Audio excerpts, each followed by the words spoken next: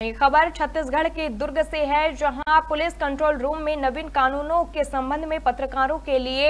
एक दिवसीय कार्यशाला का आयोजन किया गया। बता दें कि इस कार्यशाला का उद्देश्य 1 जुलाई से प्रभावशील हुए नवीन